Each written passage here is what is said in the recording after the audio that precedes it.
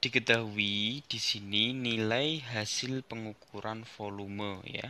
Ada A 10 cm kubik, kemudian 1 liter, 100 ml dan 0,1 desimeter kubik.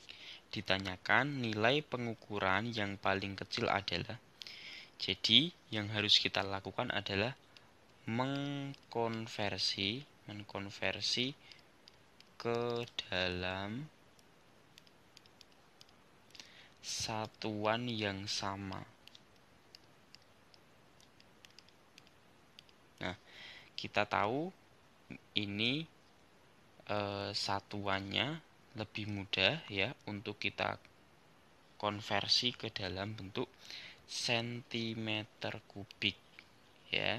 1 cm kubik itu sama dengan 1 ml sama dengan 1 cc. Ini sama saja. Jadi Nanti semua jawabannya akan kita konversi ke 1 cm kubik. Nah, di sini ya, nilai dari 10 cm kubik berarti ini sudah sama ya, tetap ya yaitu 10 cm kubik. Tidak kita ubah.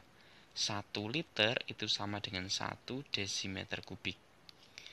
Nah, sama dengan 1 dikali 1000 cm kubik. Hasilnya adalah 1000 cm kubik.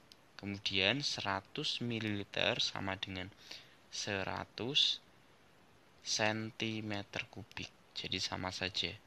Nah, yang D di sini 0,1 desimeter kubik ini sama dengan 0,1 dikali 1000 cm kubik. Hasilnya adalah 100 cm kubik. Jadi nilai yang paling kecil adalah 10 cm kubik. Jawabannya adalah yang yang A.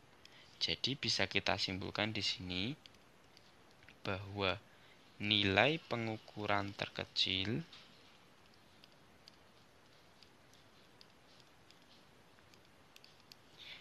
adalah 10 cm kubik jawabannya adalah yang A